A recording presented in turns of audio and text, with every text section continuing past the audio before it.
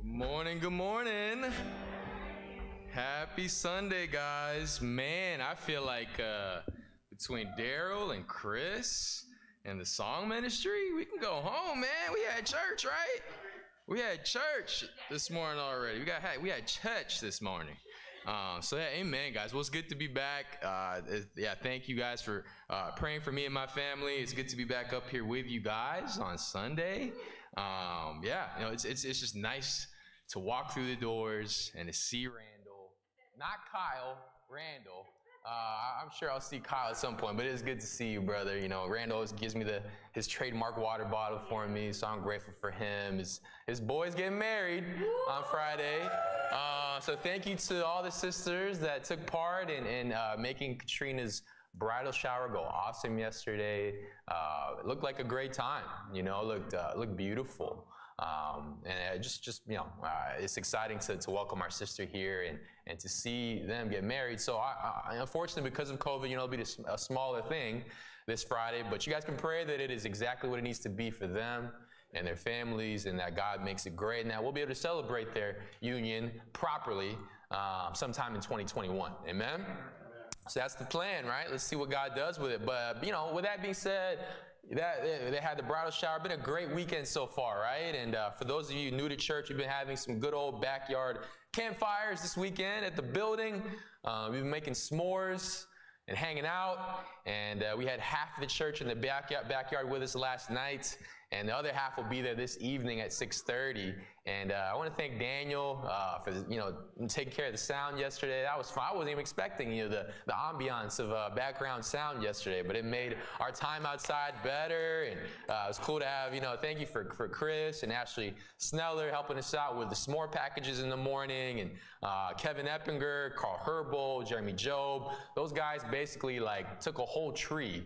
Uh, I don't know if, you, if Carl is Carl's truck still back there with the, with the tree logs. I'm like, man, bro, it's a lot of it's a lot of tree, man. So so I appreciate appreciate those brothers taking the time to do that. Uh, but you know, the whole church always works hard. The whole church gives so wholeheartedly and. Uh, it's just been good to celebrate, get some time together, and uh, you know. But we're making s'mores, right? And, and sitting by the fire, looking at the stars. Well, there were no stars last night, but we tried, and uh, it's just to celebrate our special missions offering, like Chris talked about. And I appreciate Chris sharing that passage. It is such a challenging scripture, and uh, for those of you, like like Chris said, uh, that may be new to church today or online, like that's that's something we do once a year. That special missions offering, and uh, usually, like our goal is to to give uh, 10 times what we usually give on a weekly basis, and we combine those efforts to further advance the mission of God because God is always on mission. God is on a mission. And it's like, hey, are you with me or not? But I'm on a mission to seek and save as many as possible. Amen? And, so, you know, the money we collect, right? We it, some of it stays here to help the, the, the missionary needs here for our staff, so we can share the word locally. But also goes to plenty of other churches. Uh, some goes to Russia, right? And, and, and some goes to smaller churches here in the heartland. But everything goes to preaching the word of God all around the world, essentially. Uh, because God wants more of what we had last night s'mores in a backyard, hanging out with people, talking about our lives for as many people as possible. People need that, especially right now. People need times. People need family. Speaking of family, it's good to see uh, our sister from St. Louis, Ronnie Singh, in the house. Y'all know Ronnie's uh, dating, right? Yeah. You know where he goes to school? of all the, we love Perry. God bless Perry's like, oh, I love Lawrence, Kansas. Lawrence, Kansas, the greatest thing since sliced bread. Oh, go KU. I love Perry, you know, but just pray for Perry. Ronnie, I'm sure God knew what he was doing when he sent someone as awesome as Ronnie to date Perry, because Perry needs Jesus. Amen. So, hey, thanks for sacrificing, girl. Thanks for. Sa- no, I love Perry. I love him. That's my guy. I, I give Perry a. He's like my little brother, man, and uh, we give each other a hard time. Makes fun of me for wearing like you know Yankee hats backwards and stuff like that. So it's cool. But um, you know, Ronnie's, you know, just awesome, man. We love Ronnie, so it's good to have you back. Um, and, but, uh, you know, last special fellowship, international fellowship time we had, right, was in St. Louis. The, the, St. the St. Louis church hosted that. It was in Reach. Remember that reach? It feels like maybe not eons ago, as Chris would say. It was like, well, what was reach? Oh my gosh, what was? Wait, what, oh my gosh, we were all together four years ago. What is this concept of all of us together? Like, oh, what a foreign thing, right? That happened at one point, right? And God willing, it's going to happen again. And uh, I don't know if you guys remember this uh, from four years ago. A big thing, I think starting at Reach, was this thing on our phones called Pokemon Go. And uh, it, it, triggered this, this phenomenon of adults, grown people at parks everywhere, just, just you know, and then throwing their phones to catch these creatures on their phone. It was the most bizarre. I was in Springfield still at the time. And I remember going to parks, you know, we'd have, we'd play ultimate frisbee with the disciples there, and there they were, faithfully. Just, oh man, this is a Pokemon station, you know, and they're just, you know, it's just like, you could tell, man, people are in it to win it. And if you, if you bother them, it's like if you're in a prayer walk with a disciple, they're like, you get out of the way, man. I'm trying to catch my, uh, you know, my, po- my, my Pokemon here, you know, and uh, it, it was just this bizarre thing, right? Looking back on it. But you know, it, you know, I don't know. I grew up in that era back when it was still on the Game Boy, and the purpose of catching Pokemon it, it's it's it is something interesting because the concept of it all is I, I catch this creature and it becomes like my it becomes my guy. It becomes this thing I train, it's something I love, and it's something I take care of. And then we become like one. We become, uh, in one sense, best friends, and we we grow up together. That, that, that, this monster gets stronger, and I get stronger, and we just rise to the top together with our friendships, kind of like Rocky and Mick. If you watch Rocky, you know. And uh, for the maybe this for some folks, you know, well, maybe Pokemon's past their time. It's like Rocky's probably a better analogy. But there's something about man, like, man, that's my guy, that's my girl. We're gonna go through this together. I think there's something inherent in us as people where we need that. We need that, hey, I choose you. You chose me. We're in this together. And maybe I didn't even want to choose you. Maybe you didn't even want to choose me, but man, somehow God lopped us in together. And we got to make the most of this. And then you go on this great with your best friend. Wow, man, God is so cool. I'm, I'm, so grateful God gave me this friend that I have, this discipling partner, this person in my Bible talk, this spouse I have, this, this best friend that helps me keep sharp in my faith. I think we crave that. Hopefully, this pandemic has reminded us how much we need that. I think it's tempting to say, oh, we don't need it. We just need Zoom and we can just be apart and I don't have to do this and do that because I got technology and I can scroll through all my friends. That's just not true. We need each other. Yes. And if you want to do it through Zoom, that's fine, but you got to do it. Okay, don't be like, oh, and then, then the Zoom can be like, well, it's through Zoom. I don't like Zoom, so now I'm just gonna, not going to talk to anybody. Where's your excuse now? Right? We need each other. God chooses us to be in specific places. We need one another, and God chose us. Amen? And I think that's in us because God chose us. And sometimes we don't always feel like God chose us, but God did choose us. Our own unique, funny, quirky selves. Some of us around, we know we got some quirks in this room. We probably shouldn't share them all. We're gonna put each other on Front Street, right? But we got some quirks in this room. I got plenty of them, and you guys know those things. You know, we're gonna talk this morning about how, you know, we've been entrusted with a lot. Turn your Bibles to Matthew 25. God entrusts us, first and foremost, with talent. And this morning, we're going to talk about how God chose us. Title this morning is Entrusted with Talent, God Chose Us. God chose us because of who we were created to be. We are not an accident. We may have flaws. We may have things about us we don't even like about ourselves. But God sees those things. It says, Man, my darling, you are altogether lovely, like it says in Song of Songs, right? That's how he feels about his bride. That's how he feels about his people. We are all together lovely to him. So, Matthew 25, we're going to look at a famous story about being entrusted here. Hopefully, we can glean two things about how God chooses us. Because of who we are, in spite of who we are, but just honestly because God loves who we are. Matthew 25, verse 14 says, Again, it will be like a man going on a journey who called his servants and entrusted his wealth to them. To one he gave five bags of gold, to another uh, two bags, and to another one bag, each according to his ability. Then he went on his journey. The man who had received five bags of gold went at once and put his money to work and gained five bags more. So also the one with two bags of gold gained two more. But the man who had received one bag went off, dug a hole in the ground, and hid his master's money. After a long time, the master of those servants returned and settled accounts with them. The man who had received five bags of gold brought the other five. Master, he said, you entrusted me with five bags of gold. See, I have gained five more. His master replied, Well done, good and faithful servant. You've been faithful with a few things. I'll put you in charge of many things. Come and share your master's happiness. The man with two bags of gold also came. Master, he said, You entrusted me with two bags of gold. See, I have gained two more. His master replied, Well done, good and faithful servant. You've been faithful with a few things. I'll put you in charge of many things. Come and share your master's happiness. Two points this morning about how God chose us. First thing is, first point, God chose us on purpose. God chose us on purpose.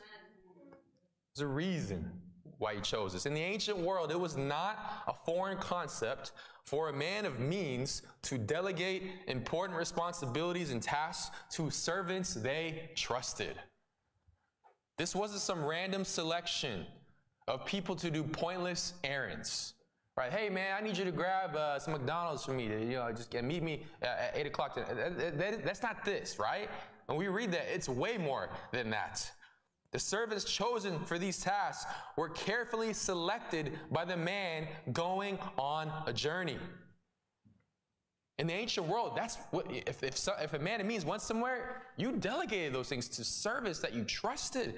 So not only did he carefully choose each servant, the Bible says that from there, the man went on a journey with no express timetable for coming back. Say, hey man, you got it. And like, when you coming back? about it. I trust you. You got it. You're good. This man was willing to entrust all of his resources, his entire estate, his wealth, his influence, his talents, as other translations put it. He said, I'm going to give these things completely to my servants for an indeterminate amount of time. By doing this, this man expresses complete trust in his servants. The man said, Hey, I'm going to give them everything I have, everything that's dear to me, everything I own, the things that made me who I am. I give it completely to them. And I'm not even going to set a date, I'm not going to set a deadline. I just trust that when I come back, they're going to make a difference with what I've given them. They're gonna, something special is gonna happen because I give them what's special to me. God chose each and every single one of us. Not haphazardly, but because he believed that you, yes, little old you and me, that you and I would make the most of that talent and financial resources and emotional resources and influential resources that He's given each of us. God chose us on purpose and not on accident. It's not an accident that guys like Ron Aredonis and Jeremy Job are working at the VA while raising families and trying to share the gospel during a pandemic. God believed that not only would those two men use their finances to take care of others, but they would use their big, loving hearts to take care of others spiritually for such a time as this. Because this is such a time. We know they're both big, big, strong guys, right? You know, Jeremy hits home runs like he's just swatting a fly, like, pow, you know? I go to Jeremy, I see Jeremy, Jeremy goes, pow, and that thing goes, whoa, he launches that thing. It's like routine. It's like, man, must be nice, Jeremy. You know, I hit my, I, hit, I, I do, you know, that's that's my softball swing. Nothing for Jeremy. I thought I knew how to how to deadlift the barbell till I hung out with Ron Aredonis.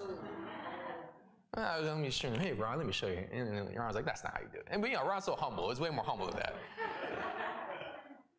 But you'd be hard pressed to find guys with bigger hearts for people.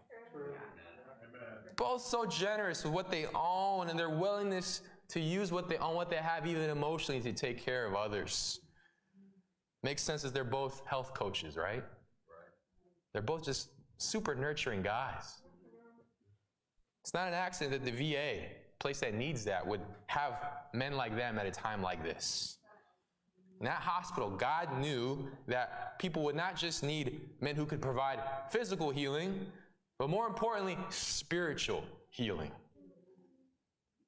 Those are guys who've been given multiple talents, multiple bags of gold by their master, and they're finding ways to multiply what they've been given by investing what God's given them by sharing the gospel with others, sharing their lives with others, sharing their hearts with others.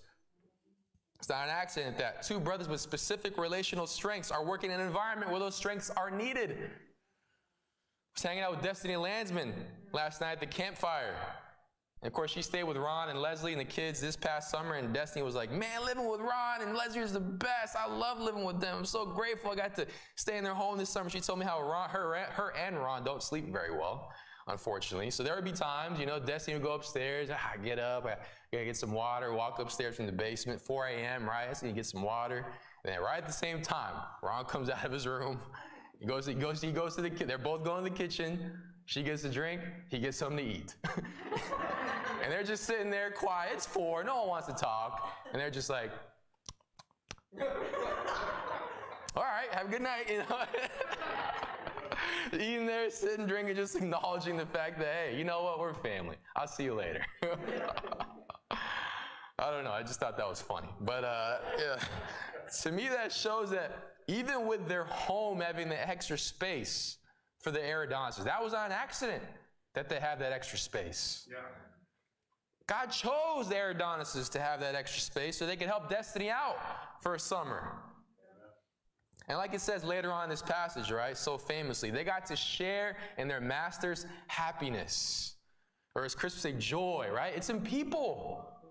Our joy, our happiness is in people because they had Destiny in their home. And she literally became part of their household, their family. God chose where we live on purpose. God chose our neighbors, the people we can love and serve every day on purpose. God chose who we work with on purpose. God chose where we work on purpose. God chose who's in our family on purpose. God even chose how much we earn on purpose. It may not be easy sometimes to work at our jobs or to make what we make at work. It may not be easy to, uh, you know, be where we are in our current stage in life relationally. We may feel like things are tight financially right now. We may feel like we just don't even, maybe financially things are fine. We just don't like where we work. I don't know. We may feel like we don't like where our marriage is at. Or we don't like being single. We may not, we may feel like, man, we're having a hard time with our kids. We may feel like, man, I'm having a hard time with my parents. We may not like where we live. We may not like where our career is headed. We may not like where the world is headed. We may just feel like life is hard. And we may question why God has us individually and maybe even collectively where we are at. God, why are we here? What's going on right now? What's going why, why are we here? Are we there yet? We're in the minivan with God. And God's like, don't ask any more questions. I'm taking us there. You keep, you keep asking me. Yeah, I, we going to be somewhere real quick. Not there, but we going to be somewhere. No, make yeah, that's right. Maybe turn this van around. You can be somewhere if you like. The Bible reminds us today that God has entrusted you with the exact season of your life. Wherever you are right now is where exactly you're supposed to be. It may not be been God's plan A. We may have sinned to get where we are, but God says, hey, you're there because I believe I can give you the tools and the spirit to work your way out of where you are. Amen. He believes that we all, each of us, can make the most of this season. Regardless of where we are financially, emotionally, relationally, whatever. He believes that we all can bloom where we're planted. And he believes in you so much that he goes on this journey and he doesn't look once over your shoulder to make sure you're doing your job right. He says, Man, I'm out. I trust you. I don't need to look over your shoulder every day. You ever had like a boss or a coach just, you always felt like they were looking over your shoulder? Yeah, I, I, remember. I remember that, man. I remember playing ball in high school. You know, I'm not as good as Ronnie. Ronnie played college ball. You know, so you know, I played ball in high school. I had, a, I felt like my coach always looking over my shoulder. I can't do one thing. I have constantly just on edge. That's not God. God's like, hey, you got this. You got this. Hey, you make a mistake, we'll live. We'll live. I believe in you. I'm gonna let you make, I'm, I'm, gonna let you play through mistakes. You got this. That's part of your growth. You gotta play through mistakes. Don't worry, I'm bigger than the mistakes. But you gotta play. You can't stay on the sideline, you gotta play. You gotta use your resources, you gotta use your energy. Otherwise, you are shortchanging the process. God chose us for where we are right now because we can make an impact on anybody right now. And guess what? Our hearts can change right now to be more like Jesus wherever we may be. Amen. God chose us on purpose. Let's keep reading here. Verse 19. Chapter 25. Actually, we read through the whole thing, right? So, my bad. God chose us on purpose, but also, He grows us on purpose. This section focuses on 19 through 23 when you have the two servants responding to God's responsibilities to them, right? The first two servants, they double what their master had given them. Pretty awesome, right? And we usually hear the, the importance of us making the most of what God's given us in regards to this passage being taught, which I think we'd all agree with, right? But what I also appreciate about God's heart here is that when the servants show him what they've doubled, that they have doubled, excuse me, what they were first given, God tells both of them, Man, I've put you in charge. Well, first of all, he says, Man, well done, good and faithful servant, right? He's fired up. God's so affirming. But he says, Man, I've put you in charge of a few things. Now, I'm going to put you in charge of more. I'm going to give you many. The passage teaches us that when we are responsible with what God entrusts us with now, yes, even in a pandemic, we're still entrusted with things. If we're faithful now, God actually grows our ability to do more and handle more if we're faithful to the process of right now. God grows us on purpose. He chose us on purpose because He believes in us, even in the most dire and trying of times, but He also grows us on purpose because He believes, man, there's going to be a day when, Daryl, darling, you're going to need to do more. You're going to be responsible with more. Catherine Smith, you're going to be responsible with more. Jojo, you're going to be responsible with more. God will use those same burdens we carry for God and His kingdom today, right? Because we all got burdens, right? We all got burdens. Our burdens are light compared to what they would be in the world, right? But they're still burdens. God will use those same burdens we carry for God and His kingdom today. If we're if we're faithful to carrying the specific cross that we have, that He's put on our shoulders, if we're faithful to that, He will use the weight of that cross to grow strong, healthy, dense spiritual muscles that before we know it are able to handle even greater loads. I think for many of us here who have been Christians even for a couple years, what, a, what was a burden to us when we were first studying the Bible is not even something that we struggle to fight against today, right? It's like, man, I, I, that's. I'm, I'm good. Okay, that, that's sin, but I don't struggle with that. Praise God. Not something I struggle with anymore. I've grown through me carrying my cross for a couple years. I can handle more. I'm good on that. Now, there's something else I got to struggle with, but what I used to struggle with is not the same. Nate Schrader, I love this brother. Man, he's grown so much. He used to struggle with not being very expressive and nurturing when I first met him. That's me, him, and Ben's uh, theme word for the year nurture. Nate, you gotta be more nurturing. He's like, what does that even mean? Nurturing. he knew what it meant. He's smart. He's much smarter than me. The guy's got really good grades right now, amen? But glad he does. but that guy's changing. You know, when Davion and Lydia announced to the campus ministry that they'd be working with the teen ministry moving forward, never forget Nate. Yeah, they, oh man, don't start crying on me, dog. Don't come on, man. You're gonna make me cry.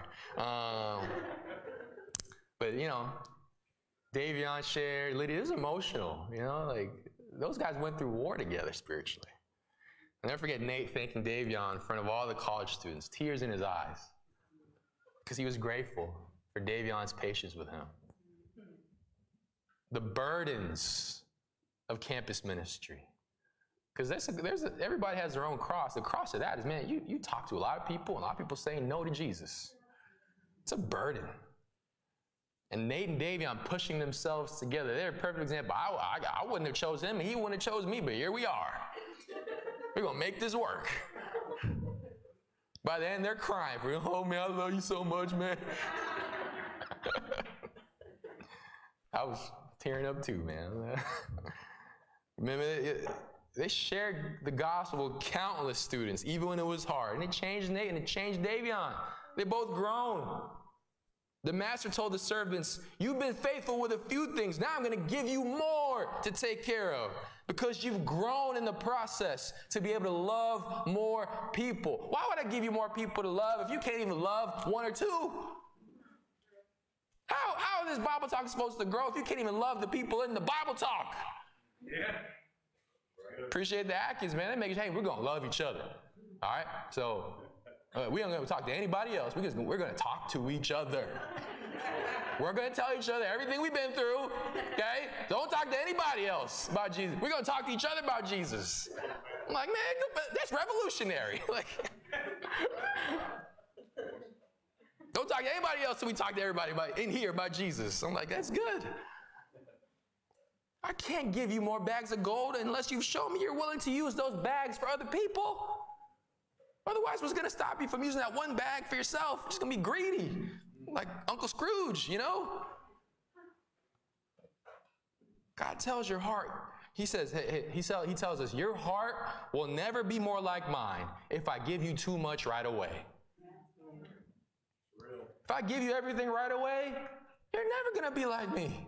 Because even when I, God Himself came to earth and did not have any, barely, barely had anything his whole 33 years, you will never, ever be able to love others the way I love them if I give you too much right away. I've come across many people, Christian and non Christian alike, that sometimes just feel like it's impossible to grow or change in an area or multiple areas of their life. For example, when am I ever going to be in a stable place financially? And I think it's easy and tempting to wait until we're in that stable place before we start giving a financial offering to God. Even today, as we're collecting our special missions offering, I understand these are trying times. I understand that it can be challenging to give right now more than ever, like we would normally give. And sometimes it's challenging to give, even if there is no pandemic. But God's given each of us what He's given each of us today, even financially, for a reason. It's not an accident.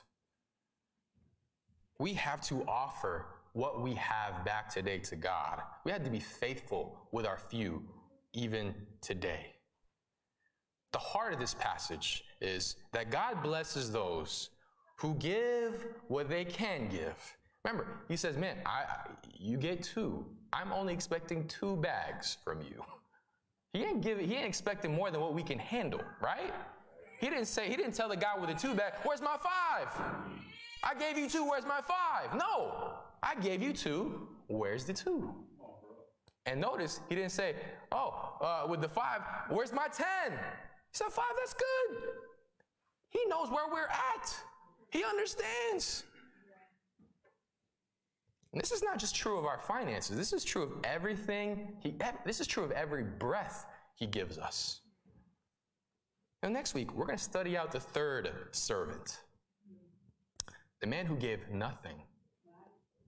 And why there are times, and I've been there, we are tempted to not give of ourselves in any way, in any area of our lives.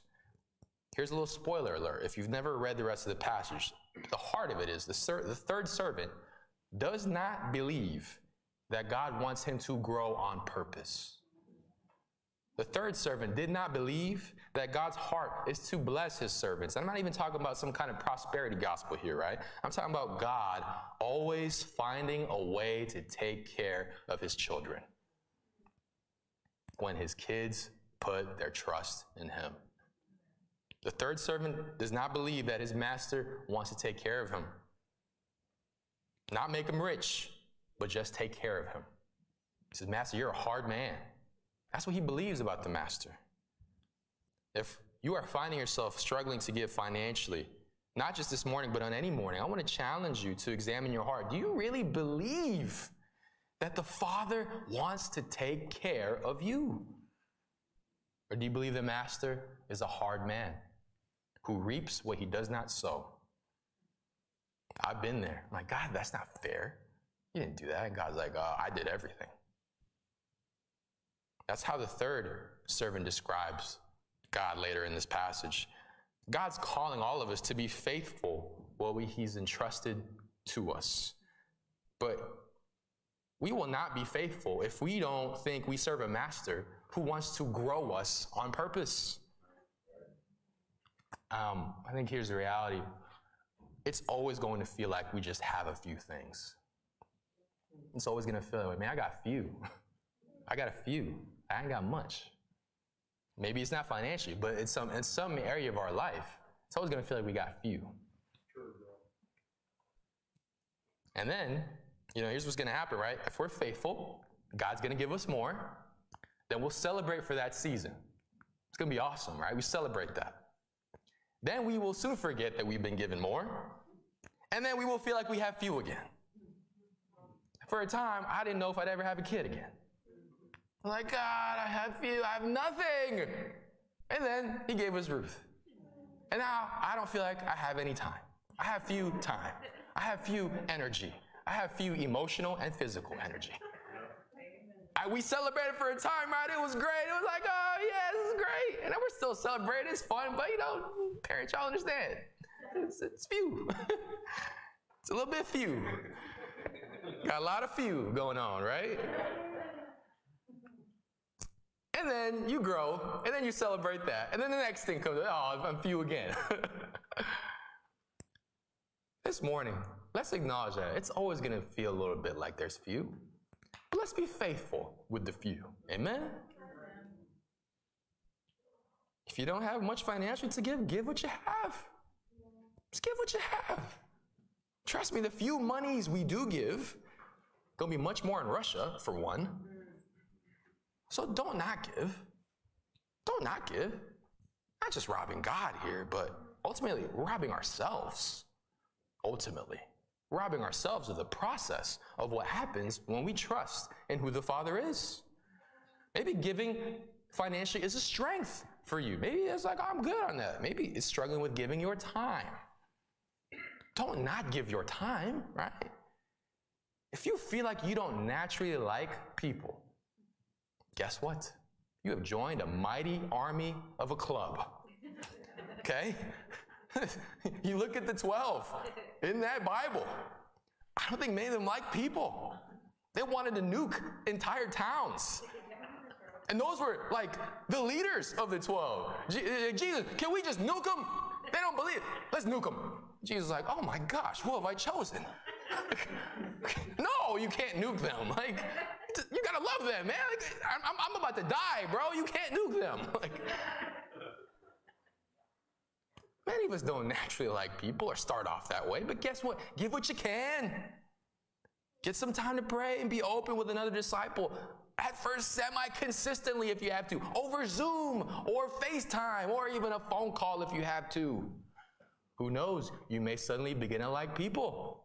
It certainly happened to many of us. I didn't like people. I was afraid of people before I became a Christian. Now I'm like, give me two weeks away from people, I start going crazy. And it happened. Y'all know. I was starting to lose my mind. Maybe it's your heart. Maybe you struggle with giving your heart. Maybe it's like, I can get with people as long as we just, you know, broing it up, right? Throwing some, some bags in a cornhole and we don't talk about anything deep. I'll throw a bag through a cornhole all day. But you, soon you start asking me what's going on in my life. Oh, I think we've had enough cornhole here for today. You know, time to go home, right? Maybe you just struggle with knowing what you feel or being open with what you feel. Don't not give your heart. Give something. Give a glimmer. Give a sliver of your heart. Just say, hey, you know what? I, I think I think I feel sad. Or you know what? I'm just I'm just struggling. You know what? Honestly, I want to be open with you. I'm just struggling with being open with you. even that's fair. It's like, oh, that that's good. At least I know you have a hard time being open. That's good. It's better than nothing. That's something. Gives me something to pray for. Gives us something to pray. Can we pray together? No, you, you can pray for me though. I'll tell you what to pray for for me. How about that? Give something. Be faithful with the few. There are many, many stories in this room and in on, the multiple rooms that I watch this online of God, how, how God has blessed the few that we gave. Just a few loaves, right? It was a few loaves, two fish. God did amazing things with that. God always does a lot with a little that He's entrusted with us. God chose us on purpose. Amen. Not on accident. He tracked each of us down intentionally. Flaws, warts, uh, you know, uh, quirks, and all. Said, man, I love you, dude. You're kind of funny, but I love you. oh, I can't get enough of you. You're the best. You're, I just, I just gotta hug you. You're so cool, you know? Even the things that people think are weird, I think that's great. I love you. And, and I'm gonna give you some things, and I want you to share those things. Because it's not good for you to have everything. You gotta share. You know what? When you share, you're gonna see how good it is to be like me. Because I share a lot. The Father shares all that. The Father shares everything He has. And there's nothing like being like me. You'll discover that. There's no happiness like the Father's happiness. And that's what He wants to give us. He said, Come share your Master's happiness. Not a worldly joy like Chris, but a real, true happiness that can only come when we believe we've been chosen on purpose and that God grows us on purpose. Amen? Amen. Love you guys. Thank you.